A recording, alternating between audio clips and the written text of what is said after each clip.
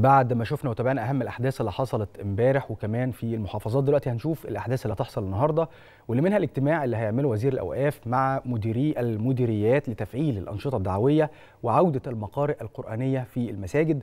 كمان عودة بعثة منتخب الكاراتيه إلى القاهرة بعد التتويج ب 13 ميدالية في منافسات الدوري العالمي في المغرب. ده غير الماتشات المهمة اللي هتتلعب النهارده في الدوري المصري وكمان في الدوري الإنجليزي.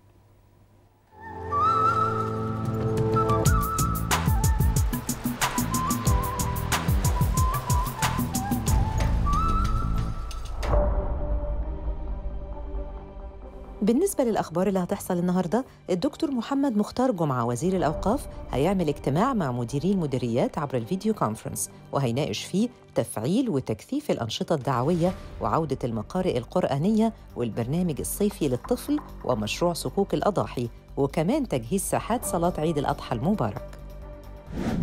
النهارده كمان المهندس يحيى زكي رئيس الهيئة العامة للمنطقة الاقتصادية لقناة السويس هيشارك في منتدى أعمال الطريق لكوب 27 واللي هتنظمه الجمعية المصرية البريطانية للأعمال في لندن. وهيستعرض فرص الاستثمار في المنطقة خاصة في المشاريع الخضراء وتعزيز التحول الأخضر في مصر. النهارده هترجع بعثة منتخب الكاراتيه للقاهرة قادمة من المغرب بعد التتويج ب 13 ميدالية متنوعة بمنافسات الدوري العالمي اللي أقيمت في الفترة من 13 وحتى 15 مايو الجاري.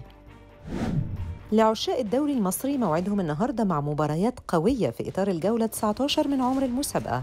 هيلتقي الجونة مع مصر المقاصة الساعة 4 العصر وكمان هيلتقي فيوتشر مع الاتحاد السكندري الساعة 6 ونص والزمالك مع طلائع الجيش الساعة 9 بالليل.